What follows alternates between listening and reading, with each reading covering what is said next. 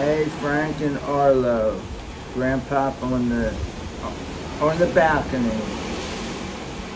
of the celebrity reflection. I didn't fill in like why you're seeing the stuff you're seeing in the background. But your grandmother and I are on our way to Europe. We're, we're fixing to take a pretty special trip. At this point in time, I'm 68. I'll be 69 when we're done this trip. In fact, the day we get back to the United States, I'll be 69. And your grandmother is an age that, uh, well, ask her. Anyway, today I want to tell you about a man that meant a lot to me in my life, although I never spent a lot of time with him, and that's my Uncle John. Now, now my mom had a picture of my Uncle John from back in, I don't know, the 1930s or the 1940s where he was actually jogging on the boardwalk in Wildwood, New Jersey. And there weren't a lot of people who jogged back then. Now, I've been a jogger since the 1980s, but I never really got a chance to, to talk to Uncle John about that because I didn't have the picture until after he was gone.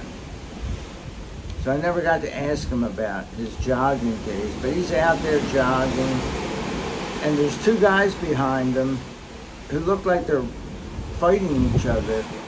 But I figured out that what it is, is, is that they're making fun of him, because back then, there weren't a lot of people that just went out of their house and went running, unless they were training for something like a boxing match or, you know, they played football or baseball or something. Now, Uncle John was really not my uncle, he was my great uncle. He was the brother of my grandmother, Weber, Nan, your great great grandmother. And they, they had a fairly large family most of them never had kids. So tomorrow I'm going to talk to you about Aunt, uh, Aunt Elsie and Aunt Babe. Neither of them had kids. Uncle John didn't have kids. There were others that, that didn't have kids. Aunt Edith, who I'm going to talk to you about in a couple days, she never had children, although she was married. But most of them remained single their, their whole lives. The women were known back then as spinsters if they if they didn't have a husband. I don't, I don't know what that means. Why you would call somebody a spinster, but so. But my grandmother did have have children. She had two daughters. My mom and and her sister, who I'll tell you about in probably a few weeks when when I get to her story. But but they they were my aunts and uncles. Uh, my great aunts and uncles were, for the most part, my aunts and uncles. They were the people who I would see. Besides my aunt Thelma, who we called Sis, who's my my mother's sister. I really had no other uncles because even though my my dad had two brothers. We really didn't have a lot to do with his side of the family, so I didn't get to know my cousins and my uncles and aunts and, and stuff like that. So the people who were my aunts and uncles at family parties and stuff were really my great aunts and uncles.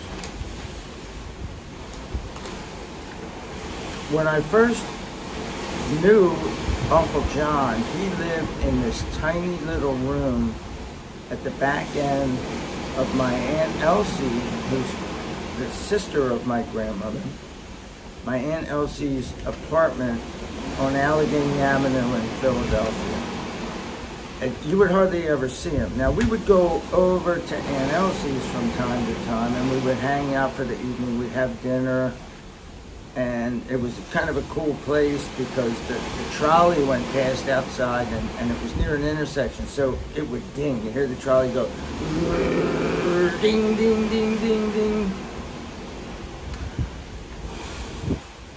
But every once in a while, Uncle John would walk in. And he was that uncle. It was like having a guy from the Rat Pack in your family. He called you Daddy-O. He gave you, back then probably a quarter, which was a lot of money. He'd say, here you go, Daddy-O, don't spend it all in one place. He had this real cool voice. He was a bartender, and he was a man of the world. But he was very, very mysterious, and everybody loved them. My mom and her sister loved them. Everybody in the family loved them, but we never saw him. But he was just the coolest guy. Like when, when he talked to you, he was, he, it was like talking to Sammy Davis Jr. This is somebody that your fathers actually got to, to know, probably as well as I knew him, because they probably saw him more your, your fathers, Frank and Tom, and your Uncle Sam. And he loved all three of them. He, uh, he thought they were the greatest things in the world, those three guys. My parents would take them over because my Uncle John, after he stopped tending bar, he worked for the, the liquor store in Philadelphia, and I forget what it's called now but instead of just having stores where you can sell alcohol, you had to buy them at the, what they're called is the state store. He worked for them and he wound up getting a pension, but he also wound up meeting a woman named Margaret. And the two of them, we didn't know this, they were hooked up and they decided to retire in Wildwood, New Jersey, back to the scene of the crime, where he used to go jogging. So my parents would, would uh, go over, and sometimes I would go over because I really loved them. And then the boys would go, and we got to spend some time with him. And then he died. So even over my whole life, I didn't spend a lot of time with him. But he's somebody that I always looked up to. And he's somebody that I always wanted to be like. Now, I don't call people daddy-o. But I'm not as cool as Uncle John either.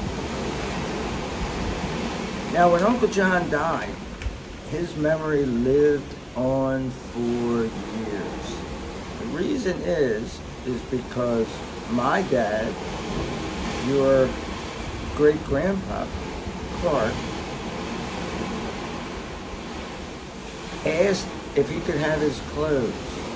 Now there's an unwritten rule in, in the universe, and that is that you don't wear a dead man's clothes. I guess it's bad luck.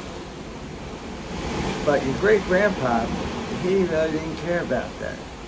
He said, these are perfectly fine clothes and I'm going to wear them. So he went from dressing the way that he dressed for years and years to dressing like Uncle John in, I forget the, oh, like nylon, I think. I forget the name of the, the what these things are called, but they were sort of like Saturday Night Fever clothes, but not that fancy.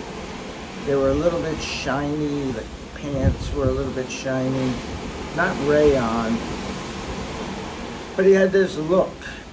And he had that look up until the time that he got sick. And I was with grandmother at that point in time.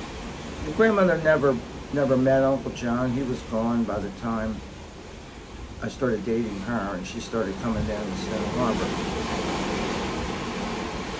but she knew his clothes, and she didn't really think that uh, he should keep wearing those clothes. They were kind of out of out of style and just they were getting worn out.